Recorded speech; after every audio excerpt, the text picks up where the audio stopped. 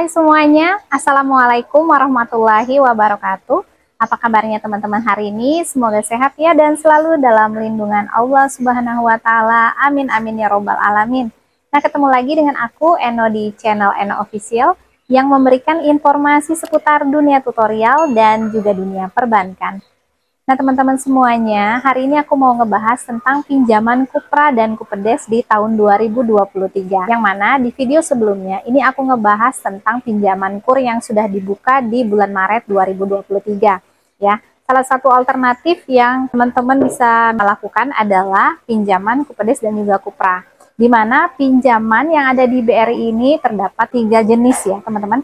Yang pertama KUR, kemudian Kupedes dan juga Kupra. Nah kalau pinjaman KUR, teman-teman pasti sudah tahu ya bahwa KUR ini adalah bantuan dari pemerintah yang disediakan, kemudian disalurkan melalui Bank BRI untuk membantu usaha mikro kecil UMKM untuk memperbesar usaha yang sudah ada.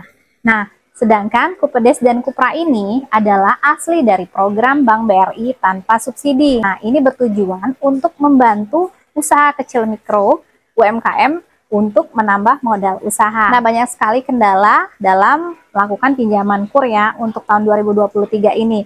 Nah, Kupedes dan Kupra ini juga bisa menjadi salah satu alternatif dalam melakukan pinjaman jika teman-teman ingin melakukan top up atau suplesi. Karena pinjaman Kupedes ini bisa melakukan top up atau suplesi tanpa harus menutup atau uh, pelunasan terlebih dahulu. Jadi teman-teman yang teman-teman lakukan adalah datang ke kantor, kemudian ingin melakukan top up atau penambahan pinjaman. Setelah pencairan baru teman-teman bisa melakukan pelunasan dengan menggunakan uang pencairan atau suplesi. Sedangkan KUR harus dilunasi terlebih dahulu baru bisa diajukan kembali. Di tahun 2023 ini ketentuan berubah ya teman-teman. Sementara pinjaman Kupedes ini juga bisa menjadi solusi alternatif ya teman-teman bagi yang ingin melakukan pinjaman di atas 100 juta karena kur maksimal di unit itu adalah 100 juta rupiah. Sedangkan plafon Kupedes dan Kupra itu maksimal 250 juta dengan panjang waktu atau tenor selama 5 tahun. Nah, untuk syarat pengajuan pinjamannya, ini terbilang mudah ya teman-teman. Bisa dicatat untuk persyaratannya. Yang pertama adalah teman-teman harus memiliki KTP, kemudian kartu keluarga, lalu akte nikah, kemudian teman-teman juga sudah berusia 21 tahun bagi yang belum menikah dan 18 tahun bagi yang sudah menikah. Untuk maksimal pinjaman adalah maksimal tidak lebih dan tidak kurang di 65 tahun. Kemudian membawa pas foto, lalu membawa NPWP jika pinjaman teman-teman di atas 50 juta. Nah, sebelum pengajuan Kupedes BRI ini teman-teman perlu memperhatikan hal-hal yang penting. Boleh simak baik-baik. Yang pertama itu pastikan usaha yang ada sekarang bisa untuk melakukan pembayaran di setiap bulannya. Jadi diusahakan tidak kurang dan tidak lebih ya teman-teman karena itu akan mempengaruhi riwayat pinjaman yang ada selama teman-teman melakukan pinjaman di BRI.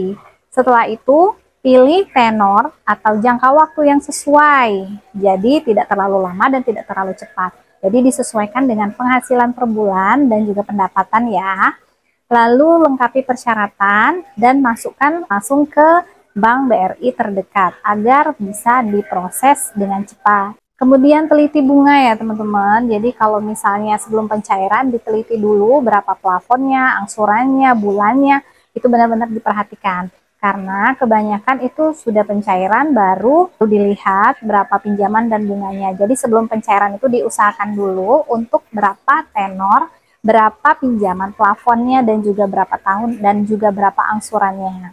Kemudian pahami juga perjanjiannya, perjanjian dan konsekuensi apabila teman-teman melakukan keterlambatan pinjaman ya. Jadi itu harus benar-benar diperjelas ya. Ini ada beberapa pertanyaan juga ya terkait dengan berapa lama proses pengajuan pinjaman proses untuk pengajuan pinjaman kepedes ini.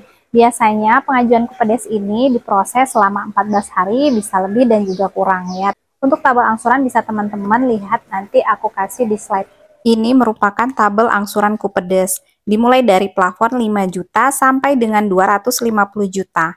Dengan jangka waktu minimal 12 bulan, 18 bulan, 24, 36, 48, dan 60 bulan. Bisa dilihat ya teman-teman berapa pengajuan yang diperlukan dan angsuran yang sanggup dibayar per bulannya.